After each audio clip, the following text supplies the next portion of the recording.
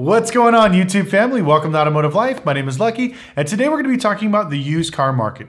Now it's been about 30 days since we made our last video and we wanted to give you guys an update of currently what's going on in the market, what's happening with repos, also what's happening with the new car prices along with financing and some other things you guys need to know about. But before I do, if you could do me a huge favor and gently squeeze the like button for YouTube algorithm, it helps me find more amazing people like yourselves that enjoy automotive content. Also, please consider subscribing. We do post two times a week. I try to do three, but but it's too crazy, so we're gonna keep with two. Also, follow us on Instagram at Lucky Lopez, and let's get into the video. So the last 30 days have been an absolute roller coaster, not only for my channel, but the actual automotive market. Now, if you're new to my channel, I'm an automotive expert. I've been in the car business for over 20 years, and the whole purpose of this channel is to be transparent about the automotive industry, to show you everything from a dealer's perspective as well as a consumer's perspective, and hopefully share that information. And one of the things I love is putting comments down in the section below. It lets me know currently what's going on in your market. So if your market is still priced high and cars are expensive, put it down there. If they're cheaper, please share it. If you have any input, we want to share as much information as we can to help educate the group. Now, the cool thing is, if your opinion is different from mine, that's okay. We can still be friends. But the whole purpose is to share information on this channel.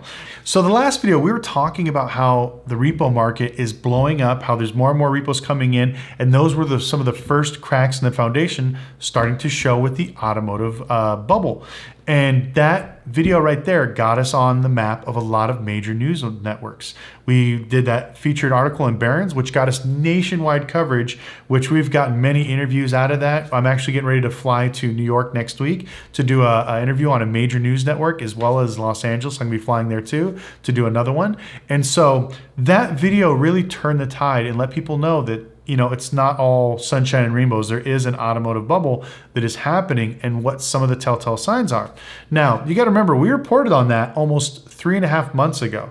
So, whatever we talked about back then is barely showing up today. Remember this the whole time we're talking about this, everything I talk about today is coming in 60 to 90 day cycles because that's what how long it takes to go from the dealer side to the retail consumer side. So keep that in mind. So next thing we're going to talk about that you guys need to know about is what's called no sales. Now, as a dealer, when we go to the auction, they line up every car and you basically run through the auction and you have to bid on these vehicles. Now, let's say there's a thousand vehicles going this week. A thousand run, let's say 500 of those are what's called no sales.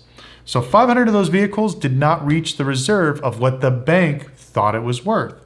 So what happens to those 500 vehicles? Well, those 500 vehicles go into next week. So now you have, let's say, 800 cars that are coming in from new repos that come pile in, new repos, new trades, and then you add those 500 cars on top of that. Now you're at 1,300 vehicles running this week. So now you're going to run these 1,300 vehicles, and let's say once again, 600 or maybe 500 of these are no sales. Those go right back into the market and they just keep adding on. So this starts to affect supply and demand, which is the two fundamentals of things either decreasing price or raising price. But now the demand in the retail market is dying because people don't have the capital to buy the cars. People don't want to overpay. People are sick of overpaying for cars. So now people have seen the cracks in the foundation. They're waiting. They're being patient and it's scaring the hell out of dealers, especially franchise stores, which I'll go into here a little bit later. So now all these no sales are piling up more and more and more. And as these repos keep piling in, the same cars keep going through. I've been trying to buy a Jeep Wrangler for a friend of mine for the last two months. Now, I won't say the name of the bank, but they have one that's for sale. I've bid $25,000 on it seven times. And they keep telling me no, it's worth 30. And I show them the book. It's worth 25. I'm only going to pay you 25. I'm not going to go a dollar over what it's worth. They're going to keep running it. This week, I am not going to bid on that car. I don't care if it if it runs for 20,000. I want them to be scared because I know what's going to happen. It's going to run it's going to go for 20,000, maybe 22,000 and they're going to get scared. They're seeing that the market is dipping and they're probably going to let it go. And that's what we're waiting for is the greed to be over with. These banks, you got to remember, they loaned so much money on these cars during the pandemic. They were doing 130, 160% of LTV. So now that $30,000 Jeep they want, they probably owe 35,000, maybe $40,000 to the bank, but I'm trying to buy it at wholesale for $25,000. So that bank is left with that deficiency amount. And this is what's going to scare the banks is when they keep taking these hits like that, where they have to absorb that amount of loss, they're going to stop lending. So as of right now, we're starting to see that tide turn. The banks have to let these cars go. They can't just keep letting them pile up and pile up. A lot of the, the storage lots I took you guys to in my other videos and some of the repo yards, they're full. They can't hold any more cars. And they're repoing cars every single day. And it's going to continue like this for the next several months. Now, as these deficiencies build, this is going to lead us to the next thing that's going to start changing the car market, which is the lending aspect. And that's one of the big things I want to talk about as well. So, we talked about deficiencies about how every time they sell a car at the auction, they sell it for less money than what they actually uh, lent out on it.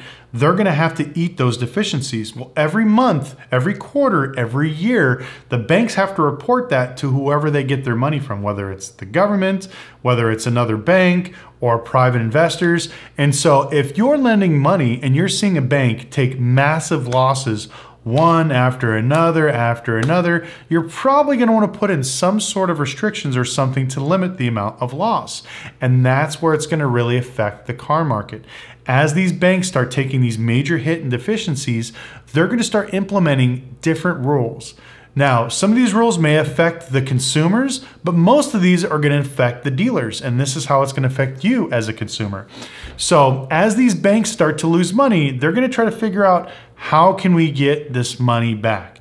So the first thing they do is they start charging dealers that sold them deals. Now, as a dealer, you sign a contract. If you have any type of issues or you lied on a contract, you, by law, have to buy that contract back from the bank.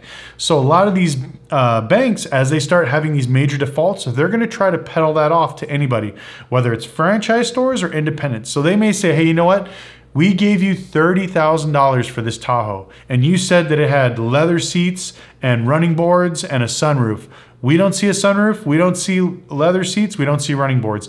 We need a check for $1,200 or we're gonna sue you.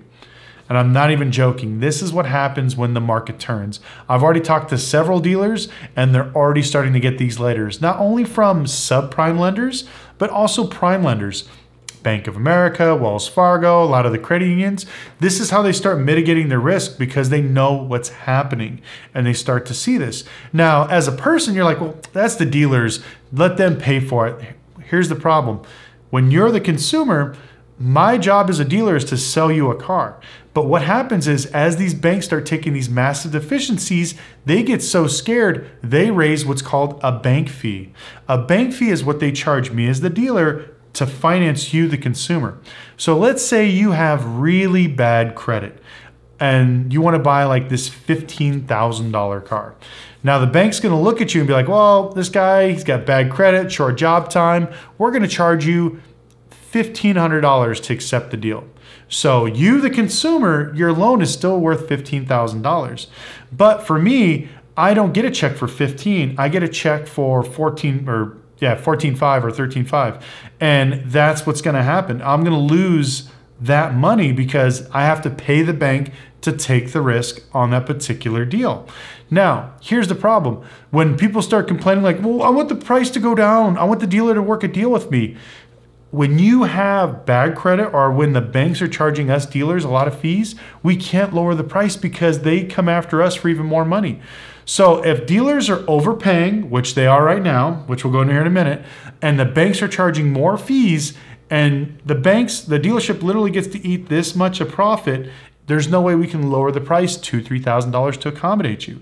That's what starts a lot of fights. So some dealers, yes, they're overcharging, and yes, they're asking a lot of money, but it's probably because they overpaid for the car, they over reconned it, and now they have the bank wanting to squeeze an extra two, three thousand dollars out of them, and they have no, they have this much money. They're gonna make like 800, 900 bucks on the deal, and you're wanting three thousand dollars off, and they can't do it you, as the consumer, get mad. The dealer gets upset because they can't get rid of this vehicle.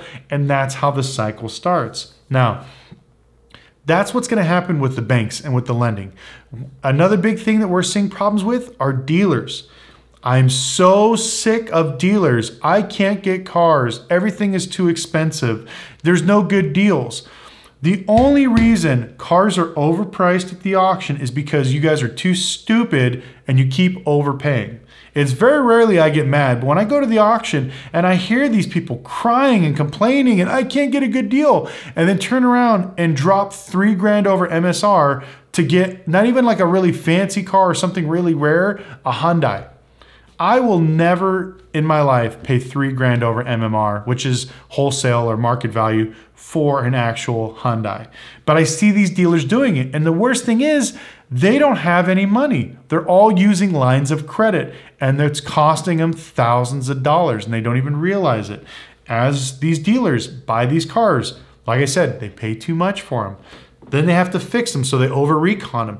And then you add not only the bank fees, what the banks charge, now you got to add what's called the flooring fee. This is what their lines of credit charge them. You know, they're paying 10, 15, 20% on top of that. So the piece of the pie is cut up so small when you're a dealer and you're you're eating off a very small amount. So if you're not running a finely tuned ship, you don't get cars back a book and you keep overpaying for stuff, that's why a lot of these dealers are going to be gone in the next three to six months because when this market drops and you guys have AFC, Nextgear, or one of these other foreign companies, don't be surprised that when they call you and they say, hey, you know what? We just ran all the books on your cars and we noticed that the market dropped. So 20% of your vehicle value is no longer there, which has already happened. If you rerun your books on your cars, you'll see this. They're going to tell you, hey, you know what? Um, on your million dollar line, we're going to need you to uh, write us a check for $200,000. We need it by Friday. Thanks. That's it. So now dealers are going to be frantic trying to come up with $200,000 to pay down their flooring line so their collateralized debt is not out of whack. And what most dealers are going to do is they're going to panic because they don't have money. 99% of dealers don't have a dollar to their name. They're all credit. So they're going to take these cars and they're going to take them to the auction. And guess what's waiting at the auction? All the no sales and all the repos. So now you add the third one, which is all dealer sales. So now you have the trifecta of boneheads that are recycling cars over and over again. You have the cars that are no sales that keep running that, that want too much money for them. Then you're going to add dealers that are going to want, want too much money for their cars because they overbought them, they over recon them. And then you got the repos coming in where they still think they're worth a bunch of money and they want all the money for them.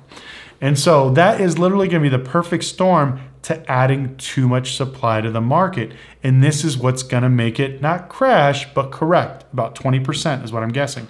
So we're from where we started about three or four months ago till today, we're around six, 7% down. So we got another 10 to 15% to go, but I think it's going to go even further. We might even get in the 25 to 30% range by the end of the uh, second quarter of 2023, which is scary because in the scheme of things, it doesn't seem like that much. But if you're a dealership and you have 150 cars and your average car is $30,000, you're about to lose $2,500 per car. And that's going to be very scary. That is all your profit. So, what does this mean for consumers and what does this mean for dealers? As a consumer, be patient. Good deals are coming. As a dealer, stop being stupid. Sell your damn cars. You can move metal. I always say the same thing over and over again. You can replace the car, but you can't replace the customer.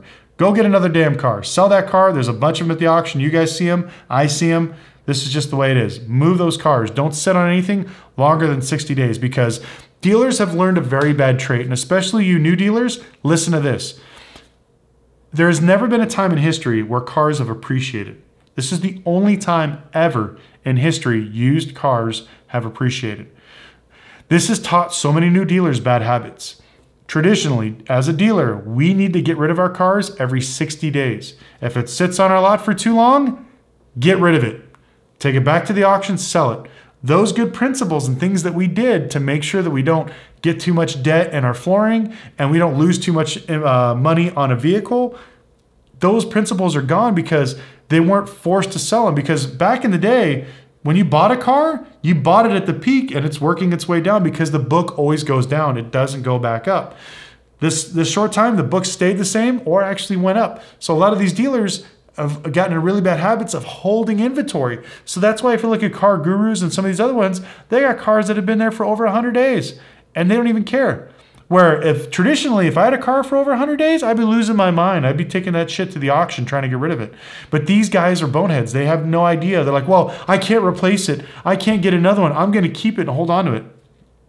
Those that are left holding the bag are going to be the ones basically holding that money bag and sinking to the bottom of the ocean and drowning when this market drops out. But uh, anyways, um, once again, please put in the comments section below what you feel and what you see in your market. Like I said, this page or this group is all about transparency, so I'd love to hear from you guys what's currently going on in your market. if you have any questions, put them in the comment section below. So I'm thinking about getting into the car business again. As I'm watching the market drop, I know a lot of these banks are not going to be lending and I want to jump in and I want to do buy here, pay here because there's going to be a huge market for that. So if there's any hedge funds watching, if you guys got five to ten million dollars that you guys want to invest with me and do some paper, I have a huge plan for it. Message me. My email's in the description below, or if you guys want to hit me up on Instagram, either one. Uh, it's about time. I want to open up my own bank because the market's going to change. A lot of these guys don't know how to buy cars or write paper, and I am literally salivating at the idea because watching these guys burn, Carvana about to explode, Vroom is pretty much dead, and a lot of these big franchise stores are not going to be selling the used cars once the new inventory comes in, which may be about a year before the new cars catch up, but nobody's going to be overpaying for some of these used cars here very shortly. But anyways, I want to thank you guys so much for watching. Please smash the like button. Also subscribe. Once again, follow us on Instagram at Lucky Lopez, and we'll see you next video.